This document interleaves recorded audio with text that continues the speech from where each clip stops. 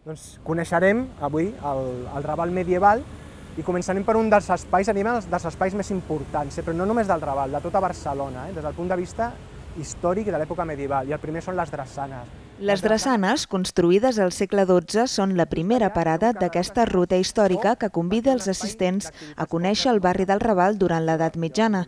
Aquest va ser un dels centres de producció naval més rellevants de la Mediterrània i una porta d'entrada a aquesta zona que durant molt de temps va quedar fora muralles. Que el mateix nom de Raval prové d'una paraula àrab, rabat, que vol dir espai fora muralles, i això l'ha condicionat durant molt de temps, però encara així a dins hi ha hagut molta, molta empenta i també durant, durant l'edat mitjana un centre on hi havia mm, gran quantitat de, de monestirs, convents, és a dir, d'ajuda eh, social, d'enclavaments mm, benèfics i assistencials per a la ciutat.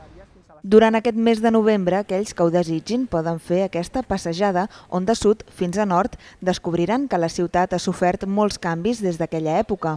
Tot això eren horts, eren terres de cultiu on estem ara, i baixaven rieres també. Hi havia monestirs, cases gremials i poc més. La següent parada és el monestir de Sant Pau del Camp, que compta en el seu subsol amb un dels jaciments neolítics més importants d'Europa i que data del 5.000 abans de Crist.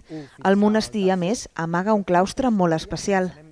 El claustre és romànic, però és, és molt original per aquesta forma de trèvol. Tan original que Picasso, quan estava estudiant a Barcelona, hi venia molt aquí, a dibuixar i a també a estar-se pensant sobre el passat, història, etc. Durant la ruta hi ha espai per conèixer la història a través dels comerços del Raval, que mitjançant uns codis QR fan accessible la descripció del punt històric més proper a la botiga, tan sols acostant-hi el telèfon intel·ligent. I així, la ciutat, mica en mica, tot i viure-la diàriament, agafa una altra dimensió. Jo sóc filla de Barcelona i la veritat és que hi ha carrers que no els havia trepitjat encara fins avui. Saborejar coses que les has vist cada dia però que no has profundit amb elles, doncs eh, realment et fa sentir d'una altra manera. El barri el conec, però bueno, quan te l'expliquen així, a més aquest noi ho explica fantàstic, doncs molt bé. Vull dir, hi havia coses que les sabia, però altres que, que no les sabia i que m'ha anat molt bé. Com per exemple que la plaça del Padró va acollir primerament el Mercat de Sant Antoni o que... La capella de Sant Llàtzer és del segle XII i és un dels edificis més antics també de tota Barcelona. Una oportunitat per conèixer més enllà i descobrir que cada racó del Raval és fruit d'una llarga història.